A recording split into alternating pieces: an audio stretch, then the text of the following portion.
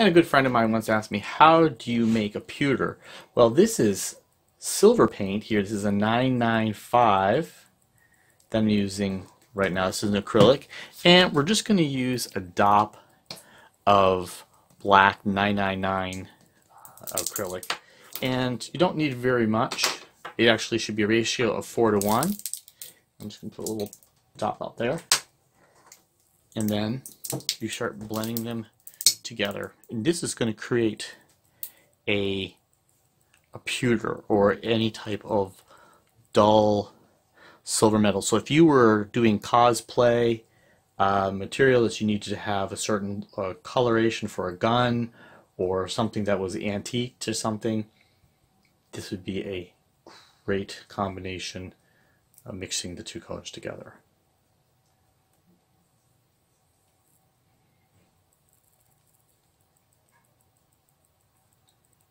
Right there. That's excellent pewter color. You can go darker than this if you like. Now, I'm going to take you down one more level on this one. If you were to add a permanent yellow deep 4, just a dab to this, it will turn into an antique gold. I'm going to show you what that looks like.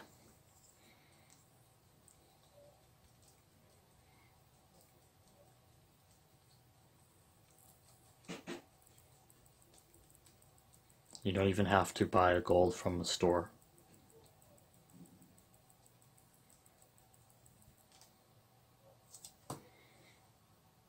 If you have any type of red here, I'm using uh, a 615 red.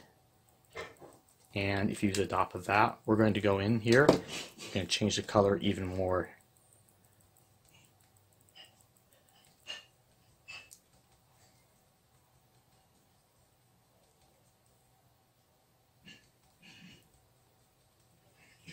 Now you have an antique brass.